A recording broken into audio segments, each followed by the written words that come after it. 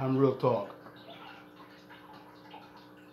Just want to talk about a little bit about a video I done a week ago about Stop the Hate, but it got cut short, so I'm going to make this short about the Asian people in this country and around the world that is getting attacked by ignorant people because they are from China or they're Asian descent. Like I was saying earlier before the video ends, these people have nothing to do with we of this people of this world that are getting the coronavirus. They have nothing to do with it. Let us stop the hatred. Attacking people because color of your skin, thinking that the China virus came from China and they had something they had something to do with it.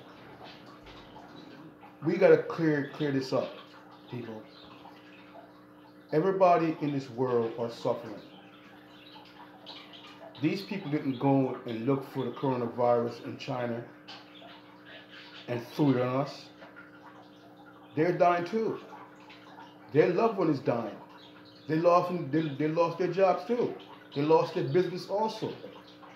We must stop being blind and being and being spoon-fed bullshit. Pardon my French. We must stop the hatred. We must stop getting misinformation and running with it if we don't know.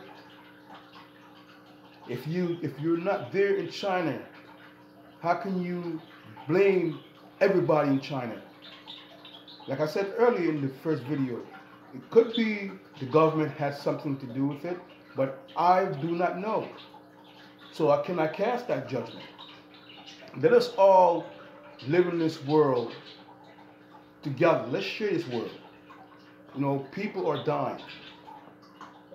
People are dying left from right. In the United States, half a million people so far, and counting. Not counting the rest of the population of the world. So let us not stick with negative thoughts and hatred for someone because of their color, because of their religion, because of their sexual orientation, or whatever the matter. Stop it. Because you are being judged. We are being judged. The book of the Lord is being written of everything we do. We cannot avoid it.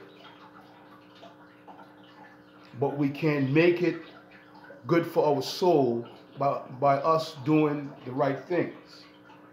Okay? Let us let us let us share this world. My people, don't blame everybody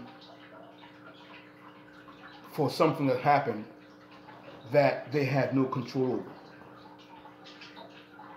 Let us just live let us just live in this world, you know, as human beings as one, man. Come on. My people, we can do this because all of our judgment is only a step, a snap of the finger away. Today I'm speaking, tomorrow I could be dead. All of us can be. And our judgment start. Stay away from people that are negative. Stay away from people that all they want to do is bring negative vibe to your to your mind, to your body. Stay away from them. Stay away from people that want to tear, tear you down. Stay, stay away from people that the only thoughts in their mind is hatred and prejudice.